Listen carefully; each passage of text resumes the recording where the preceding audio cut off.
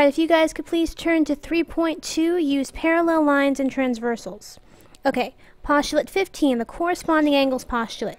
If two parallel lines are cut by a transversal, then the pairs of corresponding angles are congruent. Okay, so basically, if you have parallel lines, these corresponding angles, also the other three pairs of corresponding angles, are all going to be the same measure. Okay, so for example, uh, I apologize, this is kind of fuzzy. The measure of three of the numbered angles is 125 degrees. Identify the angles, explain your reasoning. Okay, by the corresponding angles postulate, because this angle is 125 and these two angles are parallel, I'm sorry, these two lines are parallel, angle 7 also has to be 125 degrees. Because those are corresponding angles. Now, if this is 125 degrees, then angle 5, which is a vertical angle with angle 7, also has to be 125 degrees. And because angle 1 and angle 5 are corresponding angles, then these have to be 125 degrees. This is the corresponding angles postulate.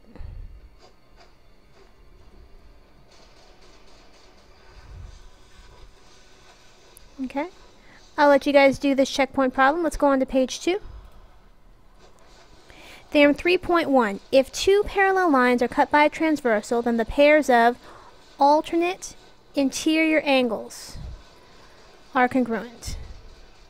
Now keep in mind this is only if the lines are parallel. If these lines are not parallel, this is not true. Okay? So angles 4 and 5, also this angle and this angle, that would be congruent. If two parallel lines are cut by a transversal, then the pairs of alternate exterior angles are congruent as well. Okay, so angles 1 and 8, also this angle and this angle.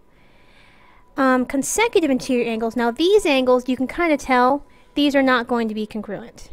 These angles are going to be supplementary if the lines are parallel. Remember, supplementary means that they add up to 180.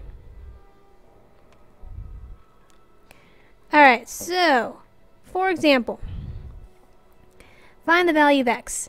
We have this angle, which is 113 degrees, and we have this angle, which is 3x minus 4.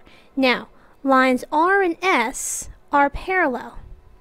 So you can use any of these theorems that we just learned. Any of the ones up here. Okay?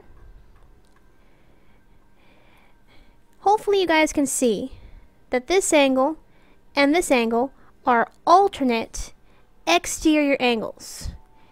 And as we know, we just learned, alternate exterior angles are going to be congruent when the lines are parallel. So, these two angles are equal.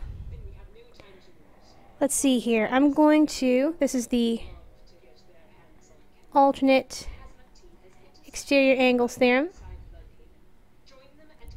I'm going to add 4 to each side which would make this 117 equals 3x. Now I'm going to divide each side by 3.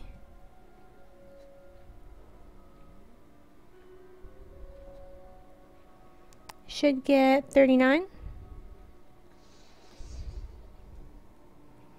So the value of x is 39. Alright, last page. Oh, sorry, this got cut off but it should be fine in your notes. Runways. A taxi cab, I'm sorry, a taxiway is being constructed that intersects two parallel runways. Alright, so they tell us that these two runways are parallel. You know that the measure of angle 2, draw these a little better, there we go. The measure of angle 2 is 98 degrees. What is the measure of angle 1? Now, hopefully you guys can see that these two angles are alternate interior angles. They're alternate because they're on opposite sides of the transversal and they're in between the parallel lines. Okay?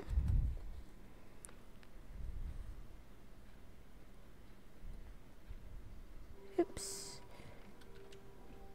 Alternate interior angles. So because the runways are parallel, angle 1 and 2 are alternate interior angles. By the alternate exterior alternate interior angles theorem, angle 1 is congruent to angle 2. By the definition of congruent angles, measure of angle 1 equals the measure of angle 2, which is 98 degrees. Alright, I'll let you guys do the last two checkpoint problems, and that's all for today.